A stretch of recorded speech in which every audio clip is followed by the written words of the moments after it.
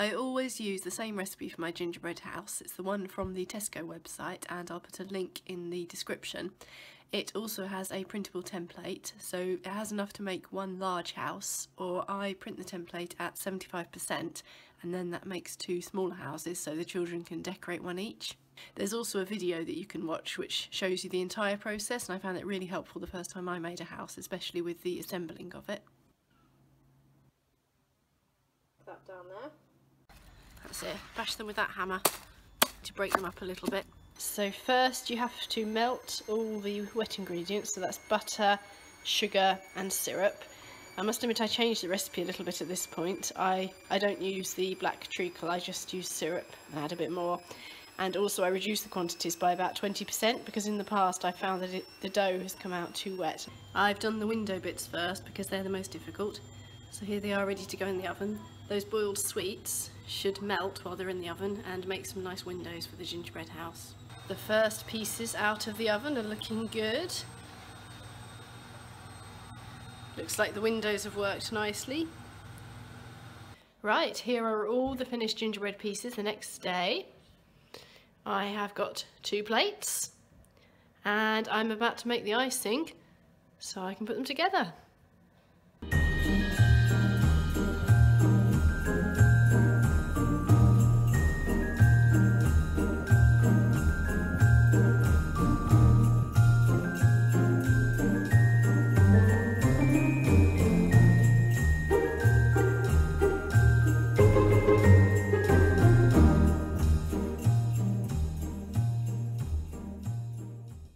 And here they are. That was actually quite easy.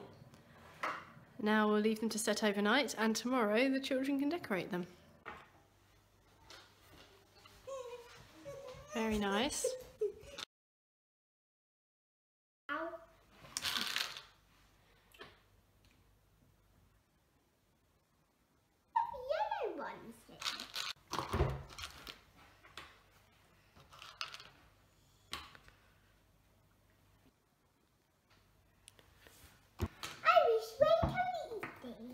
When can we eat them? Well, let's at least finish decorating them first, shall we? And then we can eat them. Maybe. Maybe tomorrow, yeah? Yeah. Or today. Or today. Okay, now! I'm ready finished. Maybe when we finish. Yeah. Where's your door, Harry?